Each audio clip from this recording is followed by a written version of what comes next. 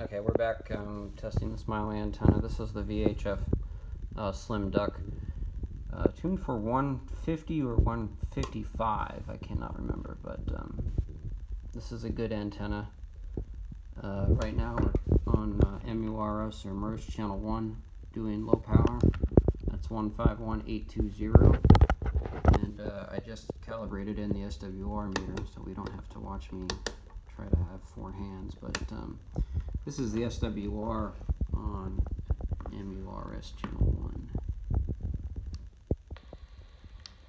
Look at that. 1.1 to 1.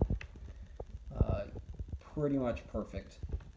Pretty much a perfect uh, match for that antenna. So let's go to uh, 154.6, MURS channel 5.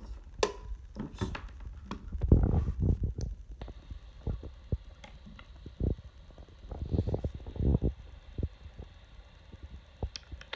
That's a 1.7. See, it was moving around a bit because I didn't have my hand on the uh, ground there. Um, again, it kind of illustrates how important it is. Um, didn't mean to punch that in. To, um, you know, uh, basically have a ground plane uh, with these handheld radios. So let's go to 159900 just for fun. Calibrating the SWR. Let's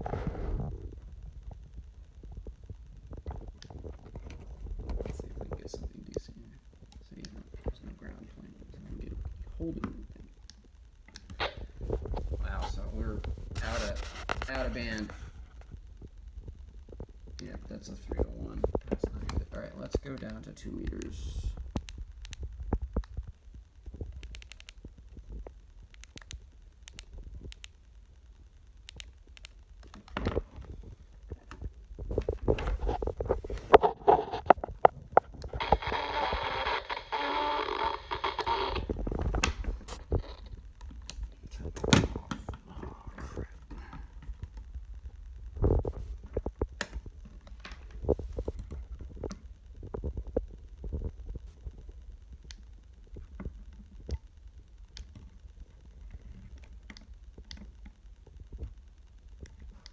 Wow, the needle's not even moving. And that's at uh, 146550. So uh, this antenna does two meters and uh, the MURS channels really well, uh, especially the uh, 151 megahertz one. So, yep, that's it without a ground plane at all. It's just sitting on the table. Uh, that is very impressive, especially when you compare it to these other antennas here. Um, the blade antenna, meh. Um, you know, this one kind of gave what amounted to unacceptable service. Um, I'm gonna try the Baofeng stock.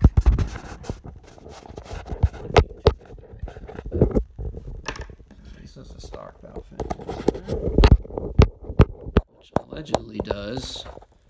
Uh, see it in there. Oh, focus. Uh, 136 to 174 and 400 to 520. So let's uh, just punch in, you know, something like 151.820. And, uh, let me turn my monitor radius back on here. Okay. Alright.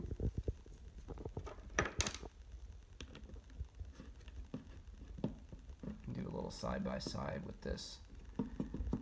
And we'll park them both on FRS1. Actually, what we can do is park them both on uh, 4568125 because we know that there's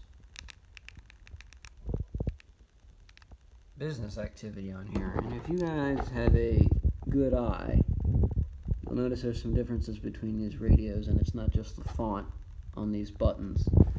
Uh, on this one, this is one of the first UV5Rs um, that I got anyway.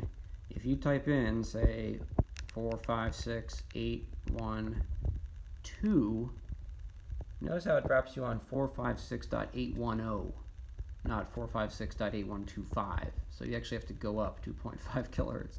So we do say 46666. It takes me to 466665. So it does it to three decimal points. Whereas this guy, I want to go to 4568125.